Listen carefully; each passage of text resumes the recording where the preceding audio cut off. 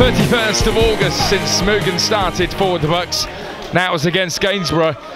He has been missed, although those players looking to uh, get their own place in the team haven't done that bad a job in recent weeks. Telford have had six straight wins, but they're defending here. It's a good one too. Pond at the near post just ships it in towards that far post and kept behind by Wes Bain. Pressure there from the defender Wilmot, who, as I say, has uh, played at a number of clubs in the higher leagues. A very well-travelled man. A mistake by Priest in defence, and now Whalley gets it from McGinn. Whalley shoots and scores! Good finish by Shaun Whalley! Oh, that's a super shot because Bowman, with his outstretched hand, tried to get a finger onto it. But Whalley, with perfect precision with that, strikes it into a bottom corner. But a mistake from the former Telford man, Mark Priest, allows Whalley in, and an important first goal. Telford lead by one goal to nil. It really well. We stroked it, didn't he? Yeah. Straight into that bottom corner. Credit Oxford- McGinn though, I thought. yeah, McGinn, it was a good spot. Yeah. Yeah. Oxford City have a corner here, looking for an equaliser straight away. 12 and a half minutes gone. Far post it comes, and Ryan Young catches it well. It was very congested in that six-yard box, and Young, as always, is uh, up to the job in hand. Inside 15 minutes, it's into the near post. Byrne heads it to the far post. Grogan beaten to it, and uh, Solomon Otterbar doesn't get there well. Whalley then looks to pick out the run of Grogan as he whips it back into that box. But Telford will certainly be the happier uh, because you get the feeling that there are goals in this for them. If they carry on playing the way they are, uh, they're causing Oxford all sorts of problems. Whalley turns again and beats the def- um, defender there. Now he plays it out to the right hand side to Farrell. Across the goal! Yeah, it's gone in! Telford get a second! Owens! Good surging run on that far post! And he does the camel celebration! It was started once more by Shaun Whalley. Farrell, though, with a super cross on that right wing.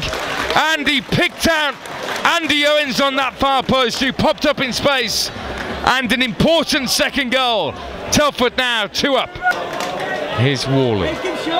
Telford hoping to get a third, and Whalley plays it in behind the defenders. Owens takes it out wide on his left, gets his cross in, headed away by the defender, chested down by McEachran, and now to Pond on this right wing. Just floating it forward to Basham, who holds it up well, but then tackled by Grogan. And then Grogan plays it through to Owens. Owens spots Whalley in room. Whalley tackled, and that's a really good recovery there by Mulling. The ball appeals there of a foul on Owens, not given. McGinn now, though, latches onto a long ball. Good ball to the far post. Nearly stabbed in by Whalley. Kept in play, though, by Farrell on that right wing. Looking to pick out Whalley again. Worley shoots, and it's over this time against at West Brom. Uh, Shane Long against his former club. Now McGinn wins his tackle. It's an important tackle as well. Out to his left wing. Whalley shoots. Goal! Magical goal and a screamer from Shaun Whalley. It was all started by Matty McGinn again, who's now set up two goals in this game. Whalley allowed the defender to make his first move. He sidestepped him and then nonchalantly he just whipped it into a bottom corner. Telford 3 0 up. Wow, it's breathtaking because the goalkeeper dived for it, just couldn't get there, right in the bottom corner. Nonchalant was the word you used, and a great word to, to sum it up. It, this has been massively impressive from Telford in this first half.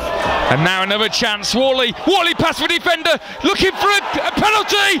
It's going to be a penalty, is it? Yes, it is.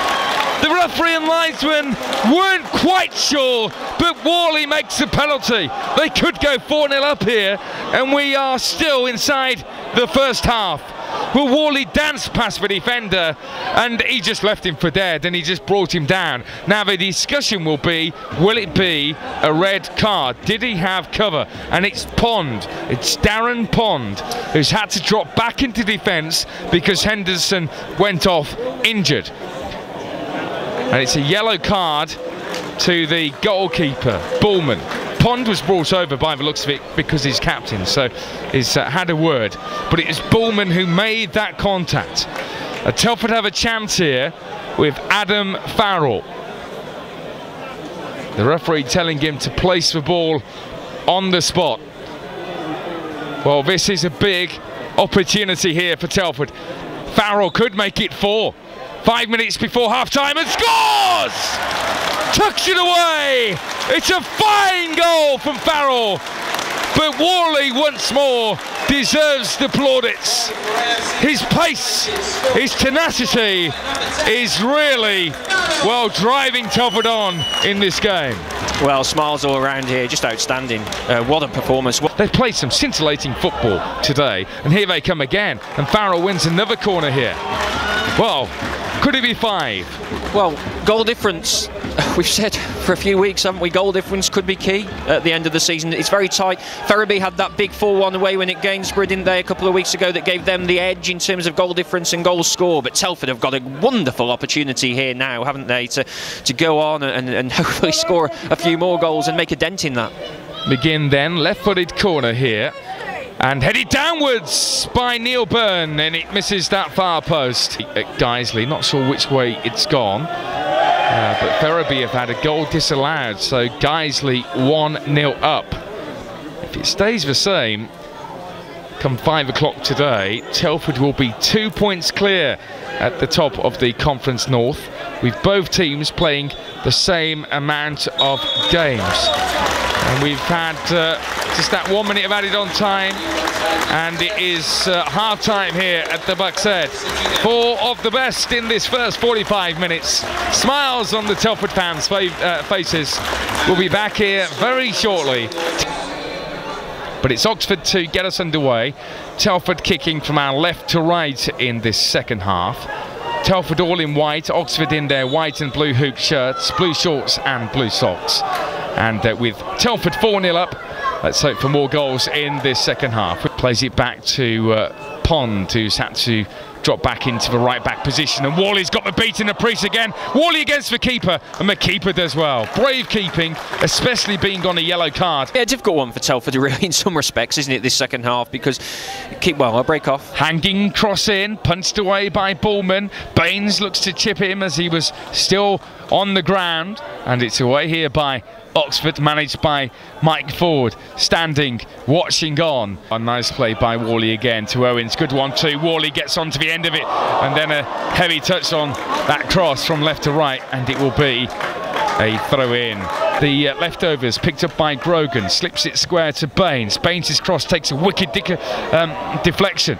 And now here's Owens shooting and it's wide just into a quieter period in this game, which is no surprise with uh, the first half we had. 54 minutes gone.